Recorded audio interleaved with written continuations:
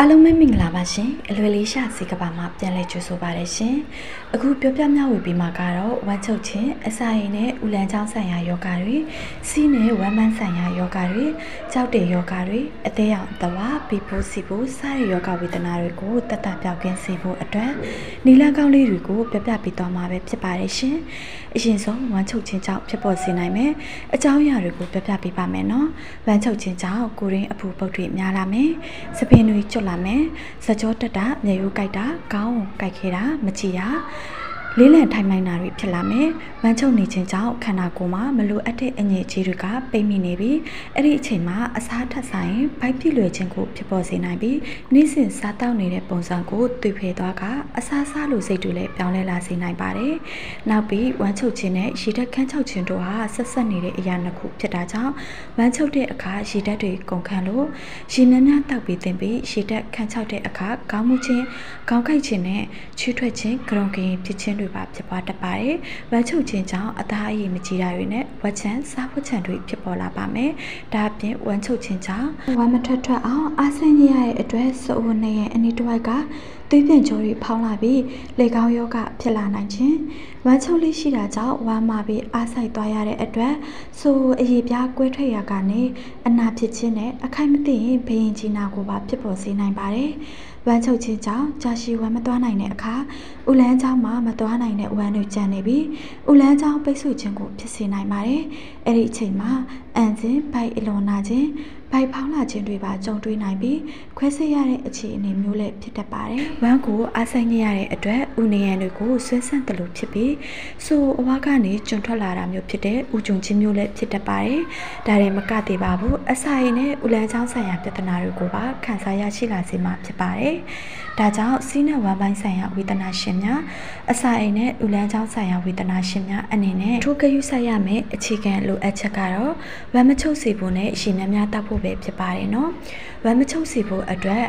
တတိထားပြီးလှုပ်ဆောင်ရမှာဖြစ်ပါတယ်။ဝမ်းမချုပ်စေဖို့အတွက်ကြိုးစားပေးရမှာဖြစ်ပါတယ်။အမြင့်ထက်ကျော်ရတဲ့အစားအစာတွေကိုသာပုံမရွေးချယ်စားသုံးပေးပါ။မာတဲ့အစားအစာတွေနဲ့အသားအလုံးအကျုံစားသုံးခြင်းကိုရှောင်ပေးပါ။မိမိနဲ့အဆင်ပြေမဲ့လေ့ကျင့်ခန်းတစ်ခုခုကိုလက်လှုပ်ရှားမှုမျိုးများကိုအနေအများမစိုးတက်နိုင်သလောက်ပြုလုပ်ပေးပါ။စီဝမ်းသွားခြင်းနေတဲ့အချိန်မှာအောင်ထားတာမျိုးဟာစူးကျိုးကိုဖြစ်စေရကြောင်းမအောင်ထားပါနဲ့။အခွင့်ရရင်ရတယ်လို့မျိုးသွားပြအောင်သွားလိုက်ပါ။ဝမ်းသွားရင်အချိန်သတ်မှတ်ပေးပါဒီလိုသတ်မှတ်ထားတာကြောင့်ဝမ်းသွားဖို့မမေ့တာမျိုးဝမ်းမသွားရသေးရင်လည်းပုံမတတိထားမိစေတာမျိုးဝမ်းသွားဖို့အတွက်တခုခုပြုလုပ်ဖို့လိုအပ်တာကိုပုံမတတိထားလှုပ်ဆောင်နိုင်မှာမျိုးဖြစ်လို့ပုံမှန်ဝမ်းသွားစီပြီးတော့ဝမ်းချုပ်ခြင်းကိုကာကွယ်နိုင်မှာလည်းဖြစ်ပါတယ်ရေများများတောက်ဖို့မမေ့ပါနဲ့နော်ရေကိုတစ်နေ့အနည်းဆုံး2လီတာကုန်အောင်လို့တောက်ပြအောင်တောက်ပေးပါ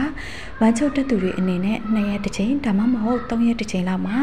တဘာဝအိမ်တွင်မကြီးဖြော်ရည်ကိုပြုလုပ်တောက်သုံးပေးပါမကြီးသည့်သုံးချက်သားကိုဖုံမုံတဲ့အမုံအမွားတွေတန့်စင်သွားအောင်လို့အတာလေးလှုပ်ပြီးတော့တစ်ထပ်စီပါပြီးရင်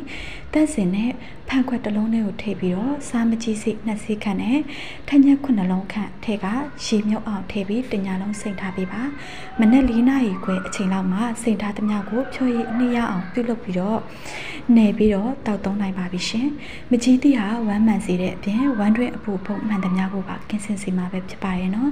နောက်ထပ်ပြုလုပ်ပေးနိုင်တာကတော့အညော်ကံမြက်ပါအညော်ကံမြက်ကိုကြောက်ပြမစားနှံငယ်ထည့်ပြီးဖြစ်ဖြစ်လေးသွေးပါလေအောက်နေတာမျိုးပါခန်းစားနေရတယ်ဆိုရင်တော့စားစိမ်အစားစားမိဘုတ်ကိုထည့်ပြီးသွေးပါ တစ်ခါတောက်ရင်စတီဆုံးတဆုံဖြစ်တနေ့ကိုနှစ်ချိန်မှသုံးချိန်အထိနေစဉ်တောက်သုံးပေးသွားပါအညော်ကမြက်ဟာစီဝမ်သွေးလေးမှန်ကန်ကောင်းမွန်စေတဲ့အပြင်ကိုရင်းကိုပါအနာတွေကိုပါတတ်တာပြောက်ကင်းမှုရရှိစေနိုင်မှာဖြစ်ပါရဲ့နော်ဗန်ချုပ်တာအပြင်အစာရည်နဲ့ဥသိမ်းဥလန်းချောင်းပြဿနာတွေကိုရင်ဆိုင်နေရပြီဆိုတဲ့အကြောင်းကိုကိုယ်တိုင်ခံစားဖြစ်တည်နေရတဲ့အခြေအနေကိုကြည့်ပြီးအဖြေရှာနိုင်ဖို့နဲ့တတိထားအမြန်ဆုံးကုသမှုခံယူစေနိုင်ဖို့အတွက်အနှဲငယ်ပြပြပေးသွားပါမယ်ရှင်။သူရန်ချင်းနဲ့ကတိယာစီလိုဝမ်အမဲအယောင်များသွားနေခြင်းဟာအစာရည်နဲ့ဥသေးဥလန်းကြောင့်အပေါ်ပိုင်းမှာသွေးယူခြင်းဖြစ်ပါတယ်။ဝမ်းအယောင်များညိုမဲသွားခြင်းဟာသွေးနဲ့အစာရည်အတွင်းမှာရှိတဲ့အဆစ်တို့ထိထွေးတက်ပြူတာကြောင့်တပေါင်းတစ်ခုအနေနဲ့ဖြစ်ပေါ်လာပြီးကုလိုဝမ်းမမဲများဟာပုံမှန်အနံ့နဲ့မတူဘဲနဲ့ပုံမဆိုးရတဲ့အနံ့တစ်မျိုးနဲ့ထွက်ရှိလာတာမျိုးဖြစ်ပါတယ်။ထို့အတူကော်ဖီချမ်းအမော့အယောင်လိုမျိုးညိုမဲမဲအန်ချင်းမျိုးလေးရှိတတ်ပါတယ်။ ခုလိုမျိုးသွေးအန်ခြင်းနဲ့ဝမ်းမမဲသွားခြင်းဟာဆွေးရတဲ့အခြေအနေတစ်ခုဖြစ်ပြီးအစာအိမ်အစာရည်မျိုးနဲ့ဥသိမ်းစားတဲ့နေရတနေရမှာသွေးကြောပေါင်းနေခြင်းအနာမှာသွေးယူစိတ်နေခြင်းတို့ကြောင့်သွေးများမှာတစိမ့်စိမ့်ဖြစ်စေတလောဖြစ်စေ ထွက်နေရခြင်းဖြစ်ပြီးသွေးအားနေခြင်းမှအစ၍သွေးလွန်တည်ဆင်းခြင်းအထိဖြစ်နိုင်ပါတယ်။ဒါကြောင့်လုံးဝမပေါ်စားတင်ပါဘူးနော်။သွေးအန်ခြင်းဒါမှမဟုတ်ဝမ်းမမဲသွားခြင်းကိုဖြစ်စေရတဲ့အကြောင်းမှာ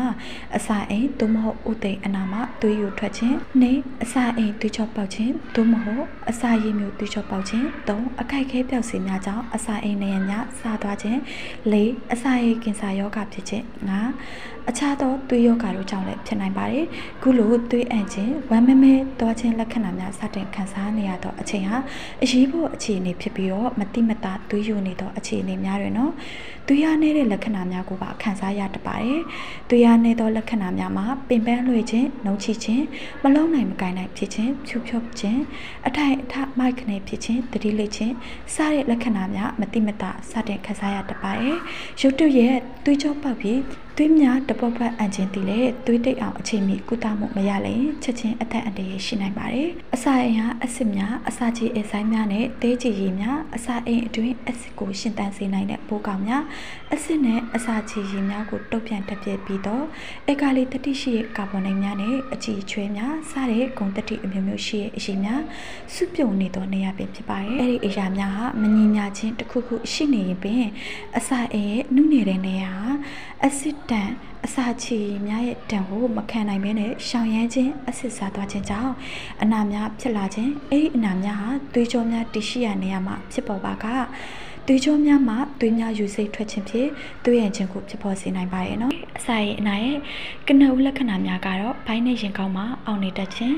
အစာစားလိုက်ရင်ပိုအောင်ခြင်းဖြစ်လို့အစာမစားနိုင်ဖြစ်ရပါတယ်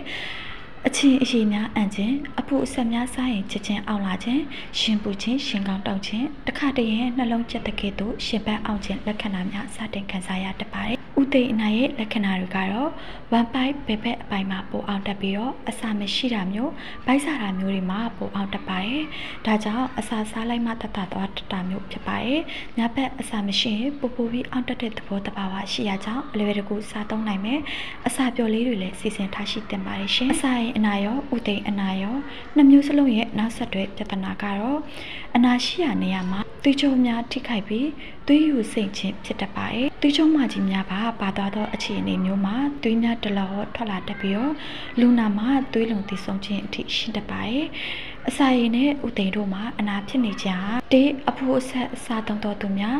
အစာမမှန်တဲ့သူများအကြိုက်အခဲပျောက်စေတောင်းနေရတဲ့သူများစိတ်ဖိစီးမှုများနေတဲ့သူများမှာအဖြစ်များပြီးတော့ရင်ကောင်းတောက်ခြင်းဘိုက်အောက်ခြင်းတို့ဟာအစာစားချိန်နဲ့ပြောင်းလဲတတ်ပါတယ်။နံပါတ်2ကတော့အစာရည်သွေးကြောပေါက်ခြင်းသို့မဟုတ်အစာရည်မျိုးသွေးကြောပေါက်ခြင်းအရဲတောက်ခြင်းအသေးအောင်အတဝါဖိဖို့စီဖို့ရှိခြင်းများကြောင့်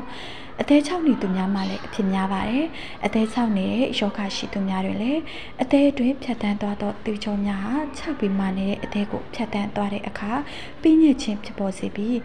သွေးများဟာကျဉ်းမြောင်းနေတဲ့နေရာကိုဖြတ်တန်းစီးဆင်းရတယ်လို့ဖြစ်ပြီးဝမ်ပိုက်တွင်မှရှိတဲ့သွေးကြောများတွင်သွေးပေါင်ချိန်တခြင်းကိုဖြစ်ပေါ်လာစေပါတယ်။အဲ့ဒီသွေးကြောများမှာအစာရည်မျိုးရှိသွေးကြောများအစာအိမ်သွေးကြောများဖောင်းကားလာပြီး သွေးကြောတို့များဖြစ်လာစေပါတယ်။ချောင်းဆုခြင်းဝမ်းညစ်ခြင်းစသည့်ဝမ်းပိုက်တွင် pressure တက်စေတဲ့အကြောင်းတစ်ခုခုလုံးမိရင်လည်းသွေးကြောတို့များပေါက်သွားပြီးတော့သွေးများဒလောထွက်ခြင်းကိုဖြစ်ပေါ်စေနိုင်ပါတယ်။အဲ့ဒီသွေးများကအန်ထွက်ယုံတာမကပဲအစာအိမ်ထဲမှာအဆစ်နဲ့တက်ပြုတ်ပြီးဝမ်းမမဲသွားခြင်းမှဖြစ်ပါတယ်။အဲ့ဒီလိုဝမ်းမမဲသွားခြင်းသွေးအန်ခြင်းတို့ဟာ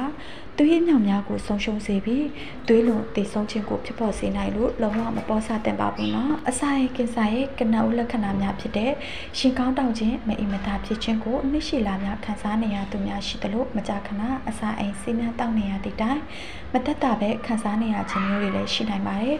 အရင်မချီဘူးလို့ယူဆပြီးတော့နေခြင်းတဲ့ယောဂအရင်မြစ်ကိုသိချာချာသိရှိပြီးကုသမှုအမြန်ဆုံးခံယူနိုင်ဖို့ကအရေးကြီးပါတယ်ရင်ကောင်းတောက်ခြင်းဟာအရေးတကြီးကုသရန်လိုအပ်တဲ့အစာရယောဂများရဲ့ရှေ့ပြေးနမိတ်တစ်ခုဖြစ်တာကြောင့်ဖြစ်ပါရဲ့နော်ပပဆဆမကုသပဲထားမယ်ဆိုရင်တော့နောက်ဆက်တွဲခံစားလာရနိုင်တာတွေကတော့အစာရသွေးကြောများပေါက်ပြီးသွေးအန်ခြင်းဝမ်းမမဲသွားခြင်းသွေးဆုပ်ဖြူဖြော့သွားခြင်းအာနေခြင်းတို့ဖြစ်ပြီးမှဈေးရုံပြရရဲ့လူနာများရှိသလိုအစာရကိစ္စဟာအခြားနေရာများကိုပြန်နှံ့နေပြီးမှကုသလို့မရတော့တဲ့လူနာများအစာရင်သို့မဟုတ်ဥသိအနာမှာပေါက်ထက်သွားပြီးဝမ်းပိုက်တစ်ခုလုံးအတွင်းအစာများအပြင်ထွက်ပြီးအသက်ဆုံးရှုံးရသူများလည်းရှိပါတယ်အရေးကြီးတာကမိမိရဲ့ရင်ကောင်းတောက်ခြင်းမအီမတာဖြစ်ခြင်းဟာတာမန်ရင်ကောင်းတောက်ခြင်းမအီမတာဖြစ်ခြင်းမျိုးမဟုတ်ဘဲဆူဆူဝါးဝါအကြောင်းများကြောင့်ဖြစ်နိုင်ကြောင်းဖော်ပြသောလက္ခဏာများကိုသိရှိထားရင်ကျူတင်တိကျကုသမှုခံယူထားနိုင်မှာဖြစ်ပါတယ်။အစာအိမ်ကိစ္စဟာအစာအိမ်ထွက်ပေါက်မှာဖြစ်ပေါ်ပါကအစာအိမ်ထွက်ပေါက်ပိတ်ခြင်းဖြစ်ပေါ်ပြီးစားသမျှအကုန်ပြန်အထွက်ခြင်းအစာလုံးဝမစားနိုင်ပဲအာဟာရချွတ်တစ်ပြီးကိုယ်လေးချိန်ကြာဆင်းခြင်းတို့ဖြစ်နိုင်ပါတယ်။အရေးကြီးတဲ့လက္ခဏာများကတော့ကိုယ်လေးချိန်ကြာသွားခြင်းပိန်သွားခြင်းသူရနေခြင်းဖြူဖြော့ခြင်းမောပန့်လွယ်ခြင်းရှင်ကောင်းတောက်ခြင်းဤမသာဖြစ်ခြင်းတွေဟာအရင်နဲ့မတူပဲပူပူဆိုးလာခြင်းရှင်ကောင်းတောက်ခြင်းဤမသာဖြစ်ခြင်းမျိုးတွေကတခါမှမဖြစ်ဘူးပဲယခုမှစတင်ဖြစ်လာခြင်းဝမ်းမမဲသွားခြင်းသို့မဟုတ်ဝမ်းထဲတွင်သွေးပါခြင်းအစာမျိုးရခက်ခဲခြင်းနေခြင်းသွေးရခြင်းအထက်ပါလက္ခဏာများရှိလာပြီဆိုပါကမိမိရဲ့ရှင်ကောင်းတောက်ခြင်းဤမသာဖြစ်ခြင်းဟာတာမန်မဟုတ်ပဲတာမန်ထပ်ပို့ပြီးဆိုးနိုင်တဲ့အခြေအနေမျိုးတွေရှိနေတယ်ဆိုတာကိုသတိထားသိရှိထားရပါမယ်နော်အခြားသွေးယောဂများဖြစ်တဲ့သွေးမတိတ်တဲ့ယောဂသွေးမအောင်နေတဲ့ယောဂသွေးကြောဆိုင်ရာယောဂများတို့တွင်လည်း သွေးအန်ခြင်းဝမ်းမမဲသွားခြင်းတို့ဖြစ်နိုင်တော့လေအဲ့ဒီသူများမှာအများအားဖြင့်အခြားသောသွေးယူစိတ်မှုများတဖုံသွေးယူခြင်းနှာခေါင်းသွေးရှန့်ခြင်းအဆက်အပြောက်များထွက်ခြင်းစီးတဲ့သွေးပါခြင်းဝမ်းနဲ့သွေးပါခြင်းတို့ပါရှိနိုင်ပါတယ်ဒါကြောင့်သွေးအန်ခြင်းနဲ့ဝမ်းမမဲသွားခြင်းတို့ဟာအသက်အန္တရာယ်ဆွေးရင်ရရဲ့လက္ခဏာများဖြစ်ယုံတာမက၎င်းတို့ကိုဖြစ်စေနိုင်တဲ့အကြောင်းအရာတစ်ခုချင်းစီမှာလည်းတေချာကုသရန်လိုအပ်တဲ့ယောဂများဖြစ်ပါရဲ့နော်ထိရောက်တဲ့ကုသမှုကိုမပြုလုပ်ဘူးဆိုပါကမကြာခဏပြန်ဖြစ်နိုင်တဲ့အလားအလာအလွန်များတာကြောင့်သွေးအန်ခြင်းဝမ်းမမဲသွားခြင်းမျိုးစတင်ဖြစ်ပေါ်လာပြီဆိုတာနဲ့မိမိရဲ့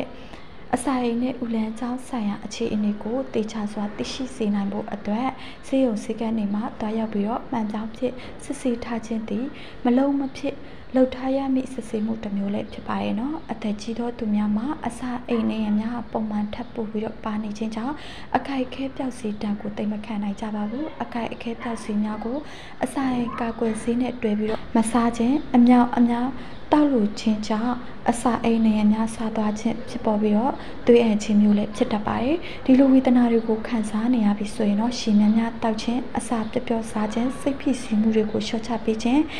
အဖို့အဆက်အချင်းရှောင်ရှားခြင်းများပြုလုပ်ပြီးတော့ ဆေးအနေနဲ့နေ့စဉ်တောက်သုံးပေးသွားရမှာကတော့စင်နမောင်းပင်ပဲဖြစ်ပါတယ်စင်နမောင်းပင်ကိုအပင်အကြီးအသေးပေါ်မူတည်ပြီးတော့တထောင်လောက်ရှိတဲ့အပင်၃ပင်မှ၅ပင်အထိပြင်းစ၅ပါးစလုံးကိုအသုံးပြုပေးပါရေးစင်ကြအောင်ဆေးကြောတန့်စင်ပြီးအိုတလုံးထဲမှာထည့်ပါဂျင်း2လီတာထည့်ပါအဲဒါကို၃ချူတချို့ကြအောင်ကျွတ်ချက်ပြီးတော့ဖန်ခွက်ငင်နဲ့မနက်တစ်ခွက်နေ့တစ်ခွက်ညတစ်ခွက်နေ့စဉ်ပုံမှန်တောက်တော့ပေးသွားပါအခါမချိုက်တဲ့သူတွေအနေနဲ့ထပ်ဖို့ထင်ရခုနှစ်ခဲမှ10ခဲအထိထည့်နိုင်ပါတယ်ဒီလိုနေ့စဉ်ပုံမှန်တောက်တော့ပေးသွားခြင်းကအစာရည်နဲ့ဥလန်းချောင်းဆိုင်ရာပြဿနာတွေကိုကုသပေးနိုင်အောင်တမကစီးနဲ့စီလန်းချောင်းဆိုင်ရာယောဂဝေဒနာများစီလန်းချောင်းဆိုင်ရာတွေမှာကြောက်တဲ့ခြင်းများအသေးရောင်အတဝါဘီပူစီပူယောဂများကိုပါတက်တာပြောက်ကင်းစေနိုင်မှာဖြစ်တယ်လို့စီဝမ်းလည်းမှန်လာစေမှာဖြစ်ပါတယ်အသေးချောက်ခြင်းကိုပါပြောက်ကင်းစေနိုင်မှာဖြစ်ပါတယ် ဒါကြောင့်ယခုပြောပြပေးခဲ့တဲ့ဒီယောဂဝေဒနာတွေတဲကမှတစ်ခုခုကိုခံစားနေရတဲ့ဘေးသူမဆိုးစင်နှမောင်းပင်ကိုရွေးချယ်ပြုတ်တောက်ပြီးပျောက်ကင်းစေနိုင်မယ့်အကြောင်းအားလုံးသိရှိနိုင်အောင်ပြန်ပြီးမျှဝေပေးခြင်းဖြစ်ပါတယ်။အစာရင်သွေးကြောပေါက်သူတွေအနေနဲ့စင်နှမောင်းပင်ကိုဟင်းနုနဲ့စူပေါင်းနေလေစားတူရောပြီးတော့ကြော်ချက်စားသုံးခြင်း နေ့စဉ်ပြုလုပ်သွားခြင်းဖြစ်ပြောက်ကင်းစေနိုင်ပါရဲ့နော်ဝေဒနာရှင်မိတ်ဆွေများအနေနဲ့ယခုဖော်ပြပေးခဲ့တဲ့နီလန်းလေးတွေကိုစိတ်ရှိသိခံပေးကြယူဒီဇိုင်းနဲ့နေ့စဉ်ပြုလုပ်တောက်သုံးပေးသွားမှသာလည်းဖြစ်ပေါ်ခံစားနေရတဲ့ယောဂဝေဒနာများဟာလည်းထိထိရောက်ရောက်နဲ့အမြန်ဆုံးတတ်တတ်ပြောက်ကင်းစေနိုင်မှာဖြစ်တဲ့အကြောင်းကိုအသိပေးပြောကြားပါရစေရှင်အားလုံးကိုကျေးဇူးတင်ပါတယ်မိသားစုများအားလုံးကိုစိတ်နှပြချမ်းသာခြင်းချမ်းသာခြင်းဒုက္ခနဲ့ပြည့်စုံကြပါစေရှင်